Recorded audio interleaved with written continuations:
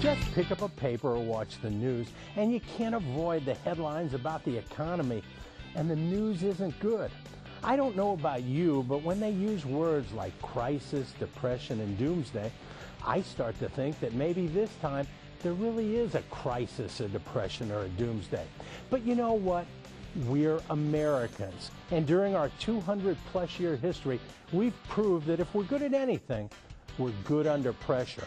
Over and over again, the world has seen that when there's a crisis, you look for the people with the American flags on their shoulders to save the day.